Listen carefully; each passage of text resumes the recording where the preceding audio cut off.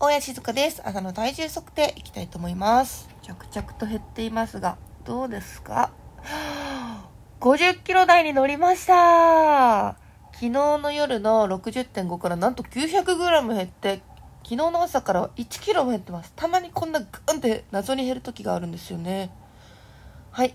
えー、朝昼兼用ご飯です。この日は出ました。何回登場してますか？タンパク質が取れるお肉たっぷり豚しゃぶ。そしてクリーミークラムチャウダー。これめっちゃ好きなんですよ。指ハートをしたけど人差し指の爪が折れてた。なので逆で指ハート。さあ、この豚しゃぶサラダはね、最近現れたんですよね。だからもうヘビー。なんか、セブンとかのサラダって急になくなるじゃないですか。だからこの日もお気に入りのこのサラダを食べました。そしてですね、このダンス。うまいのダンス。はい、神様ありがとう、ありがとう。そしてクリーミークラムチャウダー。誰の味覚基準かわかりませんが、さらに美味しくなりましたと書いてあります。私の味覚にとってもさらに美味しくなったことを願います。いただきます。うーん。もう、さらに美味しくなったかは分かんなかったですけど、すごい美味しかったです。食べてみてください。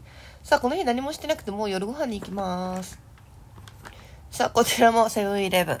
小餅ししゃも、そしてアボカドキムチ納豆。この2点ですね。ししゃもはなんか肉ばっか取ってるから魚も取ってみるかみたいな感じで、魚の中でコンビニで一番好きなししゃも。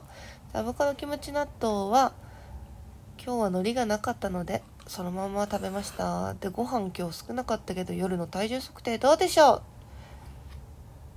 う？すごい昨日の夜から減ってたから、ほらね、やっぱりね、すごい減った時ってそんな食べてなくてもすごい増えんのよ。まあダイエットなんてそんな順調に減るわけもないし、気にせず、そんな日もあると思って今日も楽しく過ごしました。みんなの一日はどうでしたか？明日も頑張ろうね。バイバーイ。